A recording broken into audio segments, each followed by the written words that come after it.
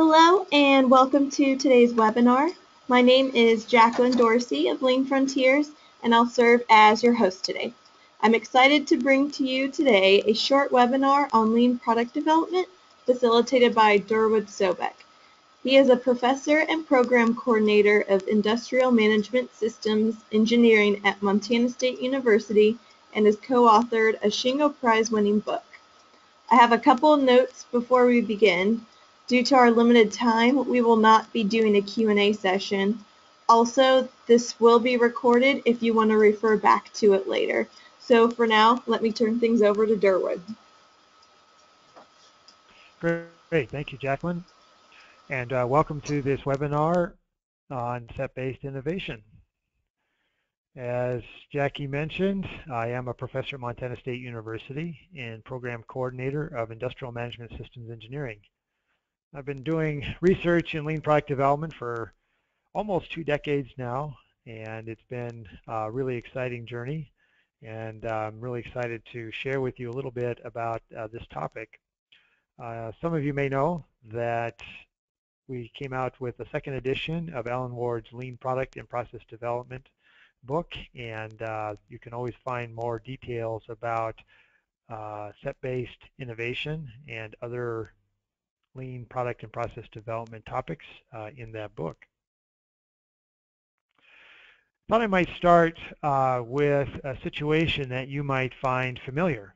Um, perhaps there's been a uh, issue that's popped up in production and that produces uh, a lot of excitement in the organization and a lot of firefighting and management of course wants to stay on top of what's going on and so what they would like to do is uh, get reports on how things are going. Of course, when that happens, uh, that means that the team or the team lead has to take time out of their uh, day to prepare the report and then actually conduct the report.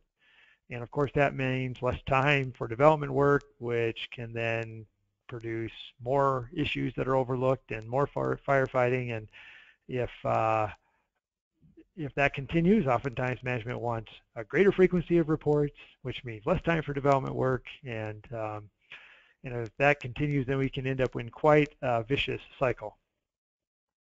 If that doesn't sound familiar to you, then maybe something like this, uh, where a, a uh, we have a failure in prototype testing and a project that was on time yesterday is now three months behind today. And of course, our management wants to be helpful, and so uh, when they see the schedule slip, uh, perhaps they want to add some resources to the team to help get things back on schedule. Of course, whenever you add more resources, that requires additional coordination on the team. That means less time for development work, and even though the team is bigger, you might actually find that the schedule still continues to slip. And if we continue along that path, of course, we can end up in another vicious cycle. Of course, where do those resources come from? Well, they come from the next project, which means that project starts behind. So the question I have to these scenarios is, do these responses really address the root causes of what's going on? And as you ponder that question, uh, let me add a comment to say, well, uh, if they are, then why are these recurring themes in many companies? So I would suggest that if it's a recurring theme, then we probably haven't got to the root cause of the problem. One of the things that oftentimes precipitates or is, a, is behind the scenes in these loops, in these uh, vicious cycles, are what we call uh, loopbacks. And a loopback is any time that we are redoing, redoing development work that's been completed earlier in the project. And that usually means we're revisiting a decision that was made in light of additional information that has uh, has has come to the attention of the team. So in the prototype test failure situation there, we went in with a certain decision and then we were surprised by the results and so we're going to have to redo some development work, some design work, some engineering analysis work uh, to uh, bring that design in compliance with our design requirements. So that's a loopback. And um, one thing that we have seen is that there does seem to be quite a bit of developer time spent on loopbacks. In fact, some of the companies we talk to, the number can get quite large. Um, some might estimate 30, 40% of time. We've had others that have estimated that it might be as much as three quarters of development time of a developer's time is spent uh, redoing work that they had already done previously. In other words, they're spending a lot of their time in these loopbacks. So why do they occur? And there might be lots of reasons why um, they occur, but a lot of those reasons come back to sort of a basic um, idea that you learn something later that you didn't know earlier, and had you known that information, you probably would have done things differently. So fundamentally, loopbacks occur because of a lack of knowledge. If we can get that knowledge earlier in the process, then hopefully we can make better decisions that we don't have to revisit later in the project. So let's talk a little bit about the, I guess, theory behind why we might think this way.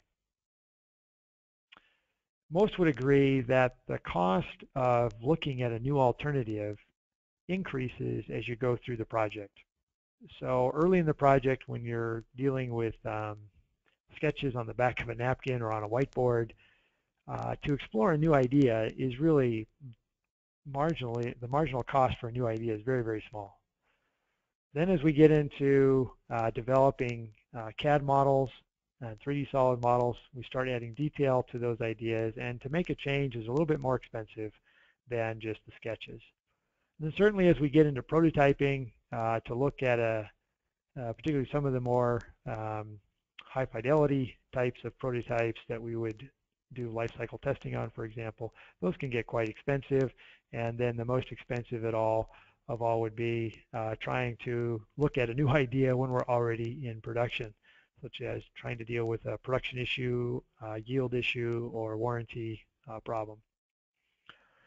And most would agree that not only does the cost to look at a new alternative increase with over the length life of the project, it actually increases in a geometric fashion like the curve that you see on, on the screen there. And you can put your own function uh, there, but uh, for your own company or industry. But a lot of folks would say, you know what, each phase there's sort of a tenfold increase in the cost of looking at a new idea or the cost of making a change. So researchers in product development have studied uh, engineering changes in product development. And what they find is that there seems to be um, a lot more changes later in the development cycle than earlier. And um, this is sort of a little bit counterintuitive in if you put it on the uh, cost of, if you map it on the cost of learning curve, because it looks like we're um, investigating new ideas when it's pretty expensive to do that. Wouldn't it be better to front load the project so that you look at lots of ideas early on uh, where it's relatively inexpensive to do that investigation of new ideas so that when you get into those later phases you're not having to make so many changes.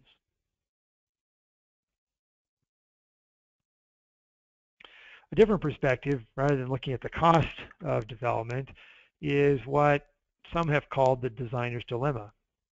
And this is uh, a phenomenon that we're all familiar with if you've ever got to the end of a project and said, wow, if I knew then what I know now, boy, I would have done things differently. And if you've said that, you, you've experienced the designer's dilemma.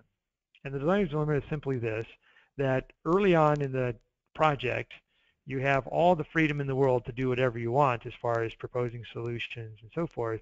But unfortunately, you have the least amount of knowledge uh, that you will during the life of this project. And then as you make decisions and, uh, and you move forward with the development or the design process, uh, your design freedom actually decreases over time because every decision you make constrains what you can do next. Uh, but you're also learning, so your knowledge is increasing over time. Uh, but unfortunately, by the time you hit the near the end of the project, you have the most knowledge, but the least amount of freedom to be able to actually use that knowledge. So that's the designer's dilemma.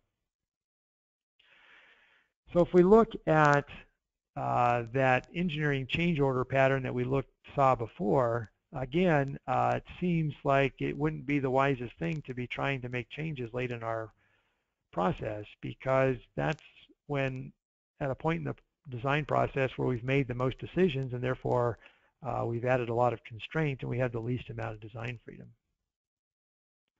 Wouldn't it make more sense to do that exploration at a point where it, we have the most design freedom and kind of follow that same curve down? If we do that, then we also have the opportunity to actually change the curvature of that knowledge growth curve so that we learn rapidly early in the process and can then make hopefully wiser and better choices. So just to recap, um, loopbacks are a pretty big source of waste in product development organizations and oftentimes the common management responses do not address the root causes of the loopbacks and as we saw in a couple of those um, negatively reinforcing cycles, they can actually make the situation worse because they're not addressing the root causes and they actually produce other problems uh, besides the loopbacks. Fundamentally, a lot of loopbacks occur due to a lack of knowledge. Not all of them. You can probably come up with some examples where it's not, but uh, but oftentimes if we ask why enough, we get back to, you know what, we just didn't know that, and that's what got us um, in the end. And hopefully you agree that it makes economic and logical sense to invest in knowledge early in a project so that you can front load that project up and make better decisions early and therefore not have to uh, try to make changes late in the process. In other words, uh, try to avoid those loopbacks. So the question then, uh, by way of introduction, is how can we front load product development projects? Now, if you poke around the literature, you can find a number of different answers uh, about uh, um, you know team staffing and team resourcing and, and different things like that. Um, and those are all good things. But what I would like to focus in on is how you can use set-based innovation to help you front load a development project. So that's what we're going to talk about um, today. So I thought it would be interesting for us to go at this by talking about a very famous example of a development project, uh, the Wright brothers, in designing the first airplane. Of course, this is a real challenge if you're back at the turn of the 19th century, or near the end of the 19th century, I should say, because uh, if you're testing a prototype, um, it's a pretty dangerous endeavor. In fact, uh, if the prototype fails, then your life is endangered. There are a lot of people at that time trying to be the first to invent heavier than air powered flight. Uh, so here's some examples on the screen. There's Otto Lilienthal from Germany who tried for 10 years with 2,000 test flights over, those 10, over that 10 year period. Unfortunately, he died in one of his flights in 1896 and never did succeed. There's uh, a fellow in France, a Frenchman, uh, Clement Ader, spent quite a bit of money over a 25-year period and never did achieve that uh, holy grail of powered flight. Um, in England, Hiram Maxim, the inventor of the machine gun, invested um, also invested a large sum of money and still didn't succeed. And here in the U.S., Samuel Langley um, was given, awarded by the U.S. government $70,000 to work on developing um, a, the first aircraft, and he spent over 16 years, and he never did achieve a manned flight that lasted for longer than a few seconds. That few seconds was the amount of time to launch a glider um, over the Hudson River. He had a contraption set up where you would launch gliders off a, off a launch boat uh, over the Hudson River, and uh, they could stay up in the air for a few seconds till they crashed into the into the uh, river. Well, how about the Wright brothers? Well, the Wright brothers are really interesting because they actually don't have university degrees, never did. Um, they spent a fraction of the money. Uh, they didn't have a lot of resources. In fact, this was uh, a hobby of theirs. They ran a bicycle shop for their main income. So they only had a couple of people, and they had to spread their development out over fits and you know different uh, spurts, fits and spurts of development work. And here's the interesting thing: their first full prototype flew. In other words, they didn't have any loopbacks. So you might be asking yourself, wow, that's quite a difference. How did they do that? Well, you can read a lot about what the Wright brothers did and didn't do, uh, but uh, here's, uh, from my perspective, they actually innovated an entirely different approach. So one of the things that they did is they first identified that they had some knowledge gaps, and three are documented in their journals. In-flight control, uh, wing design, and propulsion. The first one that they ended up uh, tackling, I'm not sure that it was intentional that it was this one first, but it was the one that they tackled first, was how do we get in-flight control. And uh, they were able to do some systematic testing on what you might consider to be subsystem prototypes, right? Gliders or kites. Uh, and they came up with a couple of different ways that they could do that control. You have the diagram there showing that. One of the things that they discovered as they were towing one of their kites behind is that they needed to control for yaw. They had uh, roll and uh, what's the other one? Uh, tilt? No. Sorry, you got two of the axes, but they couldn't, uh, they didn't account for yaw, and so that was one thing that they had to do. The other thing that they did is they discovered that the existing lift tables that were used for wing design and that Samuel Langley was using were actually incorrect. Every wing that they designed using those tables didn't work. And rather than blaming themselves, they blamed the lift tables and said, you know what, we need to corroborate uh, these findings. So uh, they moved from flying kites to the wind tunnel, which uh, they're pretty famous for, and they developed a lift balance there to uh, evaluate different wind foils. And they actually ended up testing a bunch of different airfoils for uh, lift and drag. And they recorded those data in their journals in the form of the curves that you see on your screen. After they had tested uh, dozens of those airfoils and they had a good idea of what lift and drag should be like, they built a subsystem glider. Uh, it's not powered. There's no power on this. They're just testing the wing design now, and they can also see evidence of their latest iteration of the uh, in-flight control. And they floated this glider, and you can see one of the Wright brothers there chasing his glider down the sand dunes at Kitty Hawk. To close the propulsion gap, uh, they had a breakthrough realization, and that is that a propeller is really just a wing turned on its side and rotating rather than stationary. And if that was the case, then they could use the, uh, the existing airfoil curves to design uh, a pretty efficient propeller. So they did that, and you can see the uh, replica of the original uh, propeller that they used, which is still, by the way, very efficient even by today's standards. And you can see that the cross-section of the propeller uh, changes as you move from the rotating hub out to the tip of the wing. And that's because you have different air velocities at different points along the way, and therefore the most efficient airfoil is going to be different.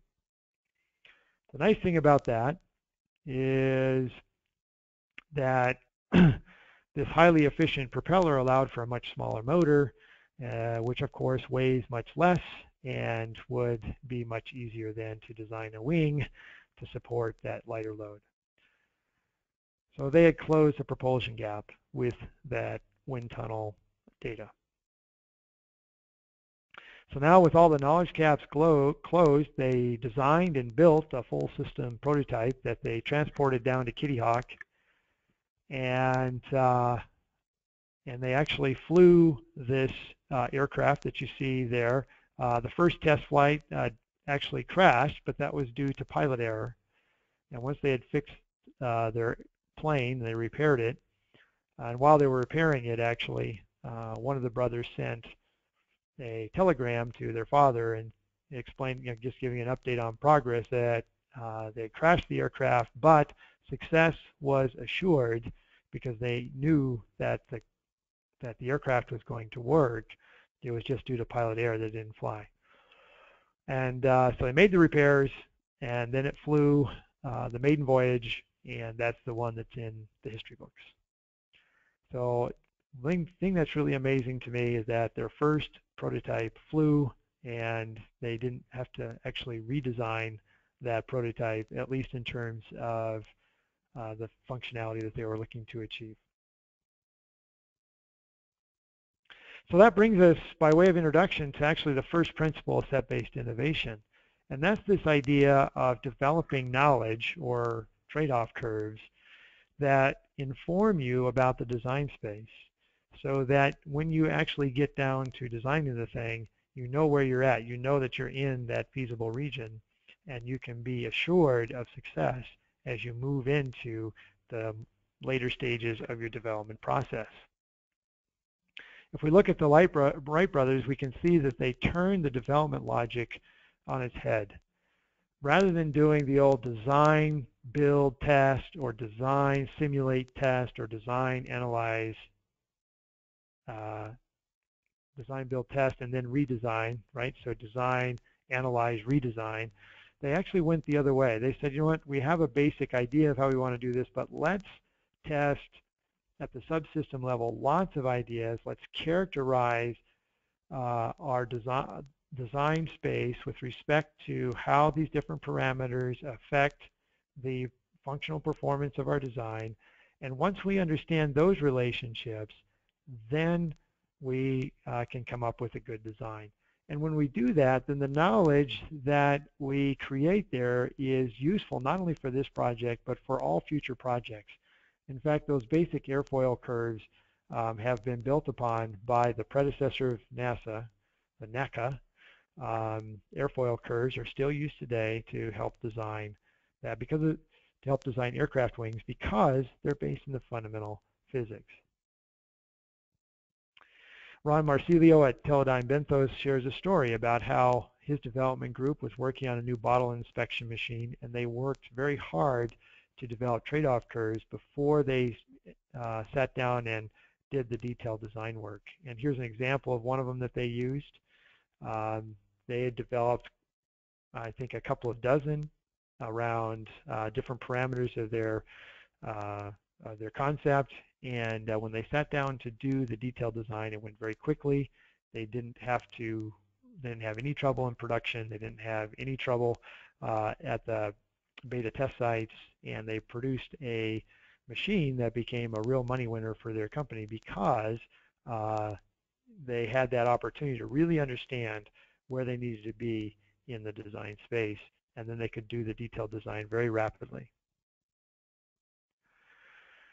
You don't have to necessarily generate new data. Sometimes you can use historical data, as in this example here, where uh, this company had pulled uh, data from, from historical designs, die tryout data, and they were able to map out a couple of different parameters. And when they discovered that um, the designs that have good manufacturability were in one portion of the design space and others and the others that had poor manufacturability were in the other part of the design space, uh, they could come up with a pretty uh, easy way for them to test the, the, manufacturability. This is the design limits of our manufacturing system as it stands right now.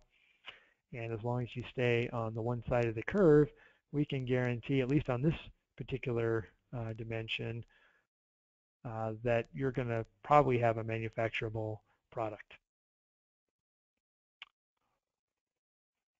The second principle of set-based innovation is what um, I've called here parallel convergence. To explain this concept, I'm going to look, go back to sort of the conventional way of thinking about the design process. And that's one of uh, basically an iterative mindset as opposed to a convergent mindset. And in this case, what happens is that, uh, you know, of course, we all want to generate lots of ideas, for solving a given problem, but typically what will happen is we'll evaluate that in a preliminary way and choose what we think is the best or most promising alternative. We'll work on that alternative, uh, add some detail to it, analyze it, look for uh, ways that we can improve it until, and we just go through that iteration process until we have uh, met our design requirements. One way to uh, characterize that is that um, you're moving from point to point in the design space. So each um, iteration is a different point in the design space. So we call that a point-to-point -point search for the solution. And if you use that in your companies, then it can cause all kinds of problems because it's really difficult to know when you actually converge. And it's really difficult to know uh, where to go next. And oftentimes, you don't really produce knowledge that's useful for another project because unless you want to go backwards through your design process, it doesn't really provide you with very much knowledge that you can go forward. And a big uh, issue is that it's really difficult for teams to work concurrently because uh, the, the process is pretty unpredictable and a change in one part of the system can precipitate changes elsewhere. In contrast to that, we might look at a situation that looks like this, where rather than communicating my best idea, we communicate a set of alternatives, and we compare that with um, a space of alternatives on the other side. Now, this this case, we're looking at product design versus manufacturing, but they could be any two interfacing subsystems. So if we can identify that intersection and then go through our process of, a, of development elimination by staying within that uh, identified um, intersection, then we have a process that becomes quite reliable and it allows both sides to then uh, work concurrently, um, adding increasing detail as they work their way through the development process. So an example of that would be in automotive development. Uh, a lot of times the styling group will have a process that's very convergent. And uh, rather than trying to pick a early winner from their initial set of alternatives, they will either choose a set or what I like to suggest is eliminate those that don't work and carry forward those that are still promising. When they do that, then they increase the level of fidelity. They don't run all the way to full, fully uh, realized CAD model. They just take it to the next stage of development where they can do further evaluation and further elimination um, and so forth until they converge to a final design. Now in parallel with that, the engineering group is also looking at those alternatives and they're doing in the early stages some design studies. They don't do complete um, engineering analysis, but they focus in on areas that look like they might be problematic and they look at alternatives from an engineering standpoint, um, how they could support that styling alternative, and they run their design studies. And that information then is used in that elimination process so that um, you're not making the convergence process is not done from just one perspective, but it's done from more of a systems perspective. So in other words, it looks kind of like this, where we have uh, both uh, groups converging in parallel, sharing information back and forth so that it informs the development of the other, and we can look for what would be compatible designs so that when we finally converge, uh, we don't have to loop back. Uh, the Ford Motor Company, in their recent uh, transformation, in, instituted what they call the Kentou phase. Kentou is borrowed from uh, Japanese, it just means study, where they study multiple alternatives um, in this early phase in order to identify the pluses and minuses and compatibility with other subsystems in order to make their elimination decisions. And this produced a great deal of efficiency and effectiveness in their development process. Here's just another picture of looking at that, where if you're looking at different, uh, just kind of a Venn diagram of alternatives, and you're really looking for where's that overlap in um, the different possibilities and alternatives in terms of where you're going to find your acceptable designs. One thing that's really helpful uh, in this uh, convergence process is if you can have some flexibility in your initial specifications. Again, similar to that knowledge curve, uh, it's very difficult, I think, to set your specifications early in the project because you know the least about, you have the least amount of knowledge at that point. So if you can have a little bit of uh, flexibility through target specifications, and then after you understand the trade-off space, you can narrow in on exactly what the specifications that you want. That can really help speed up your design process and allow you to balance the trade-offs to maximize the overall system performance. So that might look a little bit like this with any given specification that you might start with a desired and a minimum acceptable requirement and then as you learn more you gradually narrow in on what that final specification would be. All right, so then uh, our final uh, principle that we're going to talk about today, a set-based innovation, is feasibility um, before commitment. So you may be asking yourself, well, how do I manage that convergence process? Well, one way to do that is to really focus in on these knowledge gaps. And uh, if you're able to develop trade-off or limit curves or knowledge curves, um, you can close those gaps by really understanding those trade-offs. So that's that can help just help you decide what alternatives to eliminate or um, where to focus your design efforts. If you're using discrete sets, like in the parallel convergence, um, you'll want to try to aggressively eliminate alternatives. So rather than trying to uh, pick a winner, essentially you just look for the weakest link and that way you can eliminate it. And you don't need to run everything through the same test. Look for that Achilles heel and try to be creative in how you can um, get the information you need in order to make a decision at that level. Don't, you don't always need the most uh, the highest fidelity model. Sometimes uh, a lower fidelity model that you can generate quickly will generate enough information for you to to decide whether to keep it in the set or not. You want to gradually narrow those. Doesn't mean you have to go slowly, but you'll want to give enough time for other people to react to your set and also to make sure that you've got a known feasible. Because if you if you have narrowed your set to the point where you're not sure that you have a known feasible, then you've probably narrowed too quickly.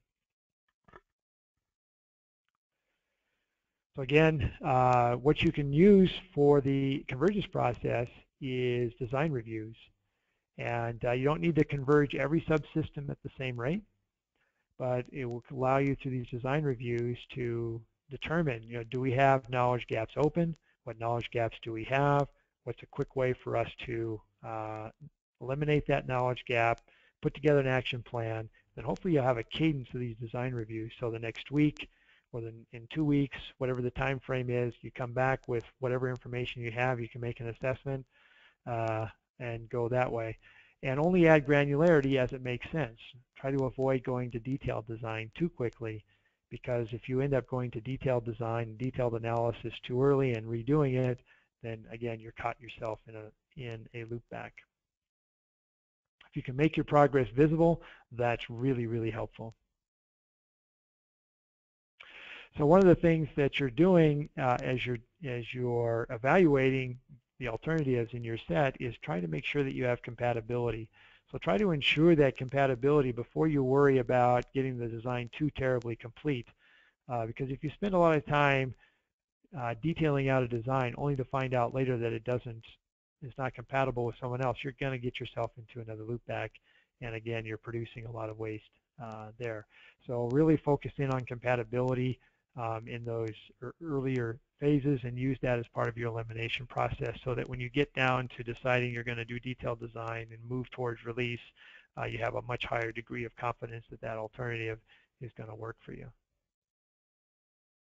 Once you've narrowed, uh, you know, you want to do everything you can to stay within the set. So make sure that you do your homework to ensure good decisions through cross-functional design reviews, uh, comparison against design standards, and doing double check. And also uh, try not to specify more than you need to to avoid over constraining your design space.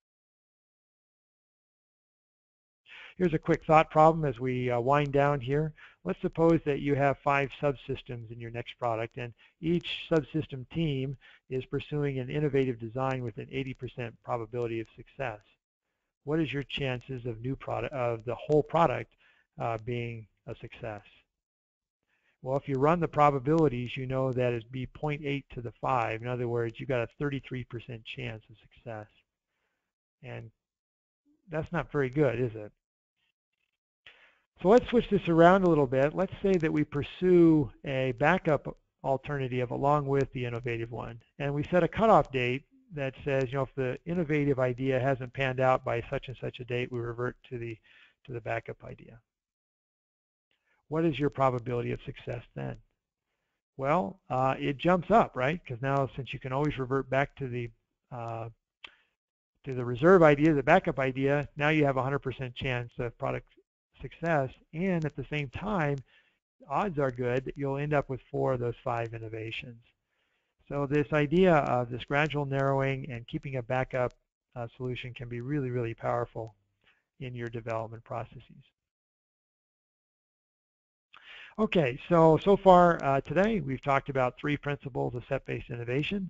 The first one is really understanding uh, the trade-off space and uh, how the design parameters affect your functional performance and do that in, the, in terms of trade-off or knowledge curves. Um, the second idea is this idea of parallel convergence where rather than trying to pick a winner and uh, iterating our way to, uh, to a good solution, we look at sets of ideas and we um, eliminate the weak alternatives and the ones that are incompatible with other subsystems so that we can converge on a solution that works uh, for all. And finally, we want to make sure that before we're committed to an idea that we've actually established feasibility, both in terms of, functional feasibility, but also manufacturability and uh, compatibility with other subsystems. If you apply these set-based principles, you'll be able to move the learning uh, earlier in the design cycle where it's relatively inexpensive for you to learn and uh, therefore you can decrease the cost and increase the productivity of your development teams. And also you can change the knowledge growth curve because you're generating much more no knowledge early in the project rather than later in the project. And if you uh, are forward thinking, you can actually couch that knowledge in such a way that you can reuse it on future projects. Well, that's all we have uh, time for today. I hope this uh, webinar was informative and helpful to you. If you would like to share your stories of set-based uh, principles and applying them in your company, I would love to hear about them. So there's my email address. And if any of you, if you have any questions, I would be happy to take those uh, by email as well. So at this point, I'll turn it over to Jacqueline uh, to conclude our webinar. All right. Well, thank you, Durward, for facilitating our session today. Um, before I close, I just wanted to go over a couple things. The first one is that his uh, presentation is available as a handout. If you look on the right side of your screen, there should be a Handouts tab that you can click on to download that so you can view it. Um, another thing I wanted to let you all know about is we are launching a new Lightwise webinar series for 2016 and we want you to be the first to know about what's coming. So if you visit www.lightwise.me and submit your name, you can find out what's going on there. So to wrap things up for today, I want to remind you that this webinar is being recorded. So look for an email following our time together for a link to the recording. And feel free to share this throughout your organization. So again, thank you, Durward, and thanks to each of you for participating in today's session. Goodbye.